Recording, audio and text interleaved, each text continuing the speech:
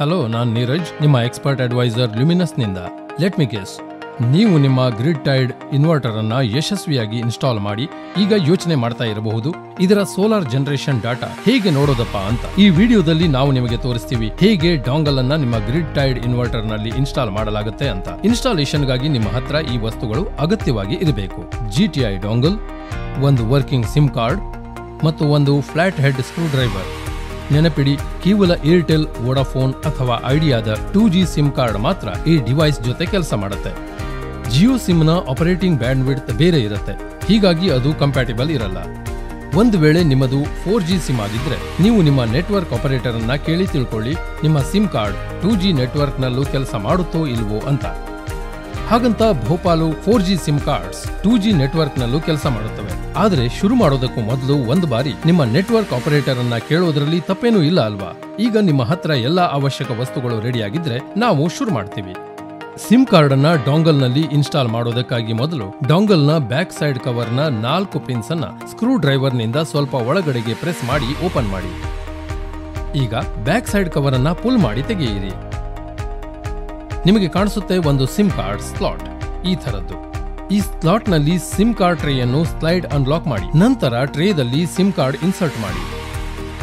Sim card ಅನ್ನು ಟ್ರೇದಲ್ಲಿ insert ಮಾಡಿದ ಮೇಲೆ ಈ ರೀತಿಯಾಗಿ ಸಿಮ್ ಕಾರ್ಡ್ ಟ್ರೇಯನ್ನು ಲಾಕ್ ಮಾಡಿ. ಮತ್ತು ಲಾಕ್ ಮಾಡುವ ಮೊದಲು ಗಮನವಿಡಿ, ಈ ಸ್ಟಿಕ್ಕರ್ ಮೇಲೆ ಏನು ನಿಮ್ಮ ಡಿವೈಸ್ನ ಸೀರಿಯಲ್ ನಂಬರ್ ಪ್ರಿಂಟೆಡ್ ಇರುತ್ತೆ, ಈ ಸೀರಿಯಲ್ ನಂಬರಿನ ಫೋಟೋ ತೆಗೆಯಿರಿ ಅಥವಾ ನೋಟ್ ಡೌನ್ ಮಾಡ್ಕೊಳ್ಳಿ. ಈಗ ಡಾಂಗಲ್ ಅನ್ನ ಪುನಃ ಲಾಕ್ ಮಾಡಿ. ಈ ರೀತಿಯಾಗಿ ನಿಮ್ಮ ಡಿವೈಸ್ ಇನ್ವರ್ಟರ್ನಲ್ಲಿ ಕನೆಕ್ಟ್ ಮಾಡುವುದಕ್ಕೆ ರೆಡಿ ಆಯಿತು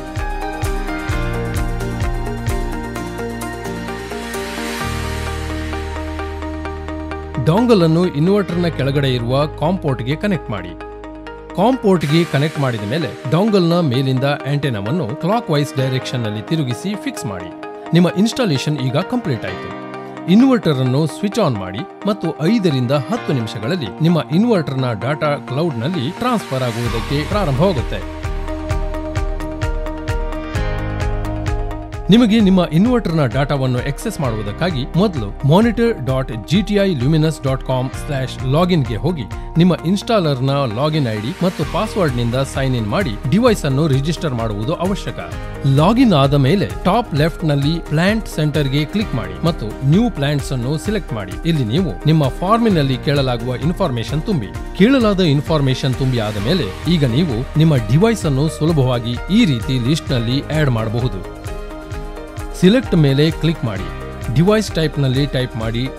Data logger brand solar man ಮತ್ತು ಸೀರಿಯಲ್ ನಂಬರ್ನಲ್ಲಿ ಡಾಂಗಲ್ನಲ್ಲಿ ಇರುವ ಸೀರಿಯಲ್ ನಂಬರ್ ಹಾಕಿ. ನೆನಪಿಡಿ, ನಿಮ್ಮ ಡಿವೈಸ್ನ ಸೀರಿಯಲ್ ನಂಬರ್ ಯುನಿಕ್ ಆಗಿರುತ್ತೆ ಮತ್ತು ಅದನ್ನು ಕೇವಲ ಒಂದು ಯೂಸರ್ ಅಕೌಂಟ್ ಜೊತೆಗೆ ಮಾತ್ರ ಲಿಂಕ್ ಮಾಡಬಹುದು. ನಿಮ್ಮ ಡಿವೈಸ್ ರಿಜಿಸ್ಟರ್ ಆಗುತ್ತಲೇ ನೀವು ನಿಮ್ಮ ಡೈಲಿ ಮಂತ್ಲಿ ಮತ್ತು ಇಯರ್ಲಿ ಡಾಟಾ ರಿವ್ಯೂ ಮಾಡಬಹುದು. ಕಸ್ಟಮರ್ ಐಡಿ ಮತ್ತು ಪಾಸ್ವರ್ಡ್ ಕ್ರಿಯೇಟ್ ಮಾಡುವುದಕ್ಕಾಗಿ ಅಸೋಸಿಯೇಷನ್ ರಿಲೇಷನ್ಸ್ ಮೇಲೆ ಕ್ಲಿಕ್ ಮಾಡಿ ಮತ್ತು owner ಕಲಂನಲ್ಲಿ create a PV monitoring ID for owner ಅನ್ನು ಸೆಲೆಕ್ಟ್ ಮಾಡಿ. ನಿಮ್ಮ ಹೆಸರು ಅಕೌಂಟ್ ಐಡಿ ಪಾಸ್ವರ್ಡ್ ತುಂಬಿ.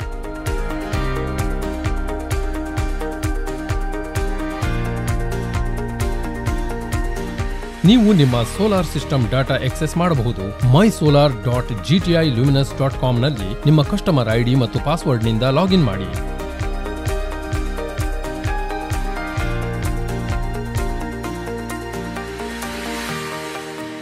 ನೀವು ಮಲ್ಟಿಪಲ್ ಸೋಲಾರ್ ಸಿಸ್ಟಮ್ ಅನ್ನು ಯೂಸ್ ಮಾಡ್ತಾ ಇದ್ದೀರಿ ಅಂತ ಇಟ್ಕೊಳ್ಳಿ. ಬೇರೆ ಬೇರೆ ಲೊಕೇಶನ್ಸ್ನಲ್ಲಿ. ಆಗ ನೀವು ನಿಮ್ಮ ಎಲ್ಲಾ ಸಿಸ್ಟಮ್ಸ್ ಪ್ರೈಮರಿ ಕಸ್ಟಮರ್ ಅಕೌಂಟ್ ಜೊತೆ ಲಿಂಕ್ ಮಾಡಿ ಒಂದೇ ಕಡೆ ಎಲ್ಲಾ ಡಾಟಾ ಎಕ್ಸೆಸ್ ಮಾಡಬಹುದು. ಇದಕ್ಕಾಗಿ ಡಿವೈಸ್ ಇನ್ಸ್ಟಾಲರ್ಗೆ ಒಂದು ಕಸ್ಟಮರ್ ಅಕೌಂಟ್ ಮಾಡಬೇಕಾಗುತ್ತೆ ಪ್ರೈಮರಿ ಪ್ಲಾಂಟ್ ಒನ್ಗಾಗಿ ಈಗ ನಾವು ನಿಮಗೆ ತೋರಿಸಿದ ಹಾಗೆ. ಕಸ್ಟಮರ್ ಐಡಿ ಮತ್ತು ಪಾಸ್ವರ್ಡ್ ಅನ್ನು ಗಮನವಿಟ್ಟು ನೋಟ್ ಮಾಡಿಕೊಳ್ಳಿ. ನಮಗೆ ಇದರ ಅವಶ್ಯಕತೆ ಪ್ಲಾಂಟ್ ಟೂ ಅನ್ನು ನಿಮ್ಮ ಕಸ್ಟಮರ್ ಐಡಿಯಿಂದ ಕನೆಕ್ಟ್ ಮಾಡೋದಕ್ಕೆ ಇರುತ್ತೆ. ಈಗ ಸೆಕೆಂಡರಿ ಕಸ್ಟಮರ್ ಐಡಿಯನ್ನು ಪ್ರೈಮರಿ ಕಸ್ಟಮರ್ ಐಡಿಯ ಜೊತೆ ಲಿಂಕ್ ಮಾಡಿ.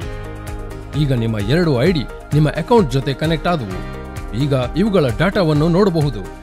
ವೆರಿಫೈ ಮಾಡೋದಕ್ಕಾಗಿ ನಿಮ್ಮ ಕ್ರೆಡೆನ್ಷಿಯಲ್ನಿಂದ ಲಾಗಿನ್ ಮಾಡಿ. ಈ ರೀತಿಯಾಗಿ ನಿಮ್ಮ ಡಿವೈಸ್ ಸೆಟಪ್ ಸುಲಭವಾಗಿ ಮುಗೀತು. ಬೇಗನೆ ಮುಗೀತು. With Luminous it's easy to have a happy home living ಮತ್ತಷ್ಟು ಮಾಹಿತಿಗಾಗಿ ಲ್ಯೂಮಿನಸ್ ಇಂಡಿಯಾ ಡಾಟ್ ಕಾಮ್ಗೆ ಲಾಗಿನ್ ಮಾಡಿ. ಮತ್ತು ನಮ್ಮ ಬೆಸ್ಟ್ ಇನ್ ಕ್ಲಾಸ್ ಇನ್ವರ್ಟರ್ ರೇಂಜ್ನಿಂದ ನಿಮ್ಮ ಇಷ್ಟದ ಇನ್ವರ್ಟರ್ ಚೂಸ್ ಮಾಡಿ. ಮರಿಬೇಡಿ. ಈ ವಿಡಿಯೋವನ್ನು ಲೈಕ್ ಮತ್ತು ಶೇರ್ ಮಾಡಿ. ಮತ್ತು ಇಂಥ ವಿಡಿಯೋಸ್ ನೋಡೋದಕ್ಕಾಗಿ ನಮ್ಮ ಚಾನೆಲ್ಗೆ ಸಬ್ಸ್ಕ್ರೈಬ್ ಮಾಡಿ. Stay tune